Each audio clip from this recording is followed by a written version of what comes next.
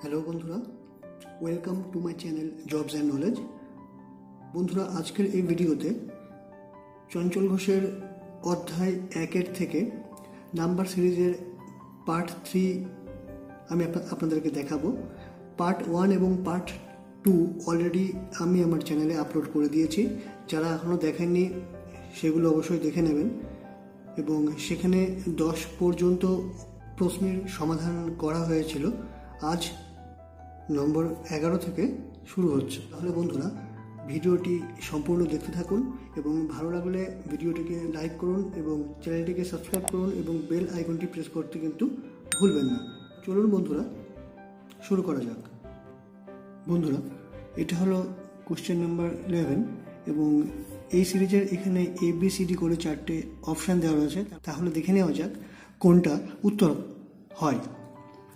এখানে দেখুন প্রথমে রয়েছে এক, অর্থাৎ এখানে যেটা হবে, আপনাদের একের স্কোয়ার, অর্থাৎ একের স্কোয়ার একই হচ্ছে একের কিউব, একের কিউবও কিন্তু একই হচ্ছে। এবার চলে আসুন চার, চারের ক্ষেত্রে আমরা কত করতে পারি? দুইয়ের স্কোয়ার মানে দুই দুগুণা চার। আবার দুইয়ের কিউব করলে কত হচ্ছে? দেখুন, আট। তাহলে একবার হলো একের স্কোয়ার, একের কিউব, পরে হচ্ছে দুইয়ের স্কোয়ার দুয়ের কিউব। এবার তিনের স্কোয়ার, তিনের কিউব। দেখুন, একই হচ্ছে তিন তিরিকা নয়। আর এখানে হচ্ছে তিনের কিউব হচ্ছে সাতাশ। তাহলে এবার হবে চারের স্কোয়ার, চারের কিউব। চারের স্কোয়ার, চারের কিউব। দেখুন, তাই হচ্ছে, অর্থাৎ তাহলে এখানে পরের যে অপশানটা আসবে, সেটা হবে পাঁচের স্কোয়ার। অর্থাৎ সেক্ষেত্রে হবে পাঁচ পাঁচা পঁচিশ। তাহলে এক্ষেত্রে যে উত্তর আমরা পেলাম, অপশান সি। পঁচিশ হচ্ছে আমাদের নাম্বার ইলেভেনের অ্যান্সার। আশা করি আপনারা বুঝতে পেরেছেন এবং যদি বুঝতে না পারেন, ভিডিওটিকে পুনরায় দেখে এটা বোঝার চেষ্টা করুন এবং কোনো বুঝতে অসুবিধা হলে কমেন্ট বক্সের নিচে আমাকে কমেন্ট করে জানান, আমি আপনাদের অবশ্যই হেল্প করব। বন্ধুরা, এবার কোশ্চেন নাম্বার টুয়েলভ লক্ষ্য করুন, এটা ভীষণ সোজা। এখানে দেখুন, তিন, ছয়, বারো, অর্থাৎ এখানে তিনের সাথে গুণ করে দুই গুণ করা হয়েছে, তিন দুগুণা ছয়। তেমনি ছয়ের সাথেও দুই গুণ করে হয়েছে বারো। বারোর সাথে দুই গুণ করে হয়েছে চব্বিশ। চব্বিশের সঙ্গে দুই গুণ করে হয়েছে আটচল্লিশ।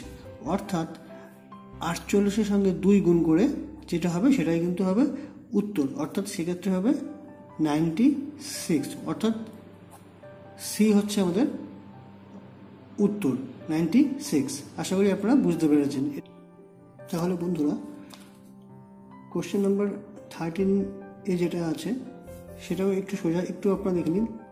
তিন, সাত, তারপরে আবার কম, অর্থাৎ চার।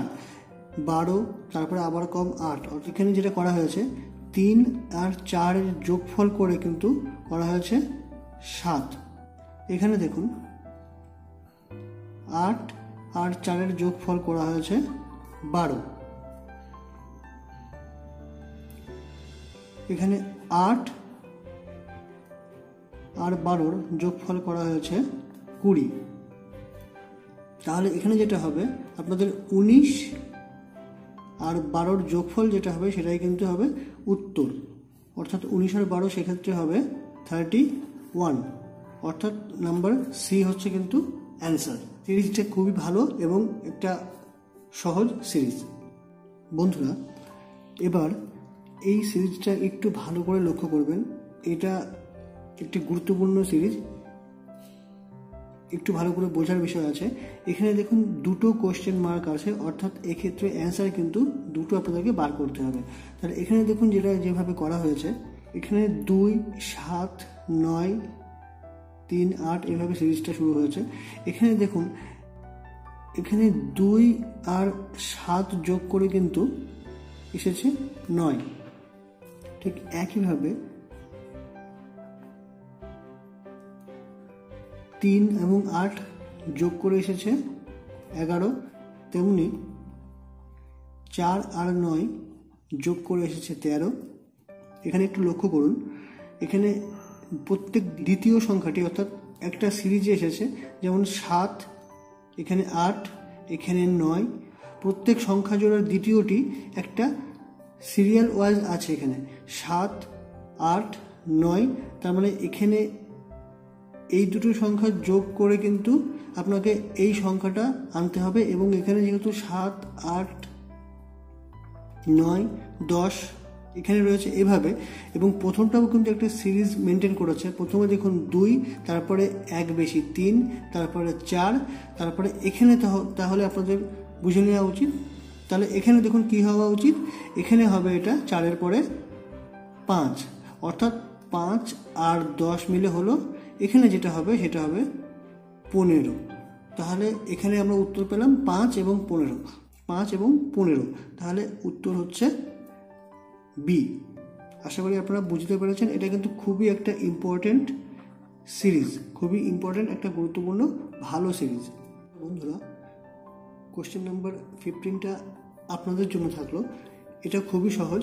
এখানেও দুটো কোশ্চেন মার্ক করা আছে, অর্থাৎ দুটো উত্তর আসবে এবং হিন্টস হিসেবে আমি আপনাদেরকে বলে দিলাম যে এখানে শুধু অন্তর্ফল বার করার চেষ্টা করুন এবং তাহলে কিন্তু আপনারা এর থেকে উত্তরটা পেয়ে যাবেন এবং এই উত্তরটা কিন্তু আমাকে অবশ্যই কমেন্ট বক্সে নিচে কমেন্ট করে জানাবেন।